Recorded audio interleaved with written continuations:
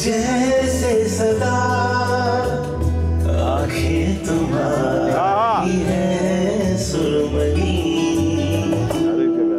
सनम तुम सा हँसी कहीं देखा नहीं। सुनो जरा ये दिल की धड़कने। क्या से क्या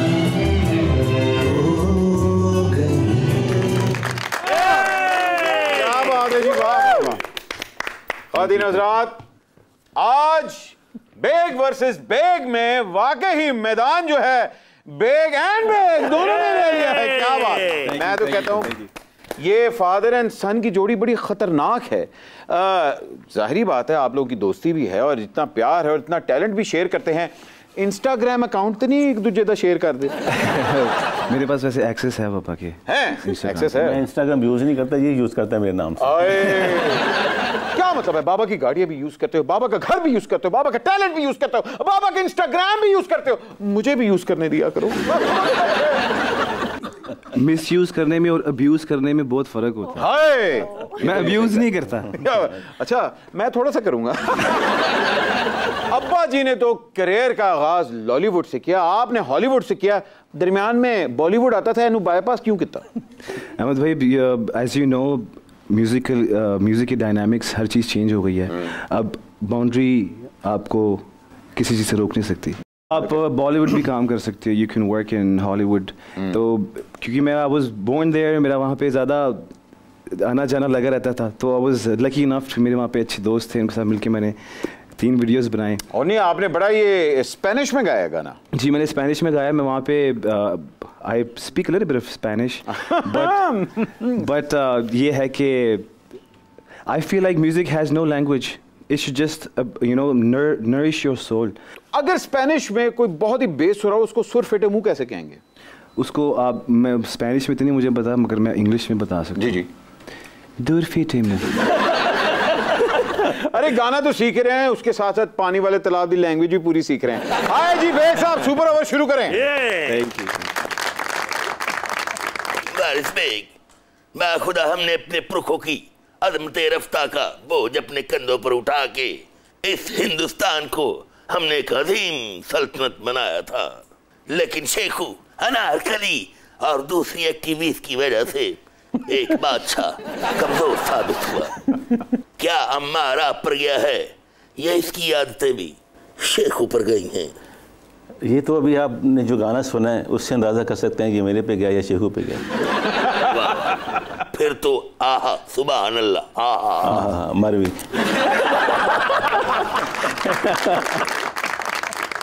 यार बट सही बताया करो कि कौन आने वाला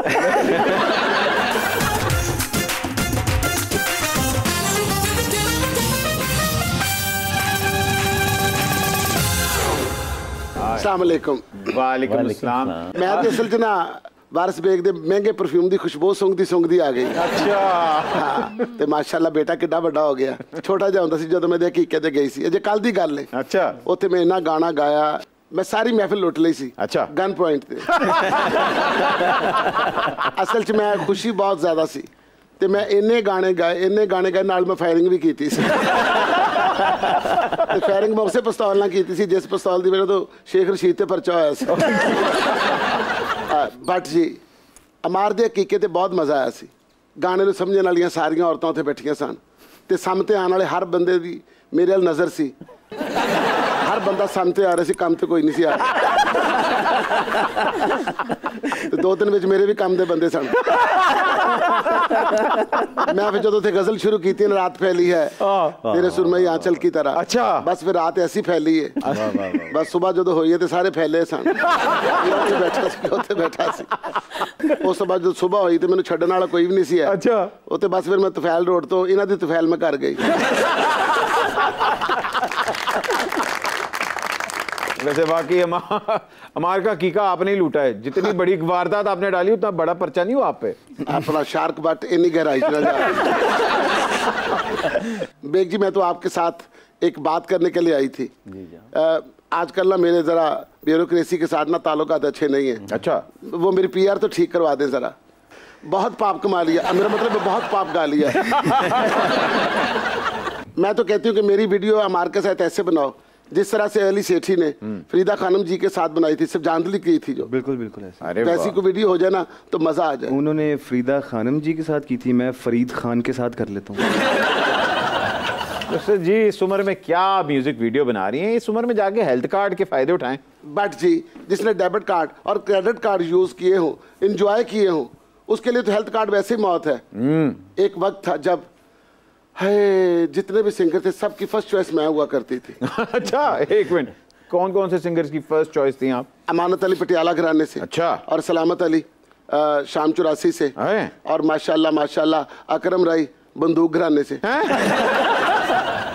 इन सब की फेवरेट रही हूँ। नहीं यकीन शो छोड़ो जाके पूछ के आओ। मेरा दिमाग खराब है मैं उनसे जाके पूछूँ। और ये कहाँ से कॉम्बिनेशन आपने जोड़ दिए? कहाँ फोक कहाँ क्लासिकल मैंने फोक हमेशा थोक के हिसाब से गाया और ठोक के गाया। वारिस बेग यूँ तो अम्मार आपका बेटा है लेकिन इसकी आदत व अतवार मुगलिया है। क्योंकि ये मुगल का बेटा है तो मुगल ही होगी ना। आ। हमने अपने तब सुखन की तस्कीन के लिए तानसैन को रत्न का दर्जा दिया था। ये भी हुसैन बख्शगुल्लू और दीगर उस्तादों को अपने घर लाकर उनकी खिदमत करता है इज़्ज़त करता है। जॉबदारो बट को जिंदान में डालकर अम्मार को सुपर ओवर का जानशीन बनाया जाए। ओए चुकन ओए रिजीम चेंज ऑपरेशन करने लगे। बात कर चोबदार इस तरह कहता मैं बड़े बंदे थे पीछे ने। नहीं ऑन सीरियस नोट अमार ने जो ट्रेनिंग हासिल की और बड़ों को अपने जो आ, उनसे सीखा है ये बड़े रेयर है और आजकल नई जनरेशन में आपको नज़र नहीं आ रहा। तो ये कहाँ से इसमें आई?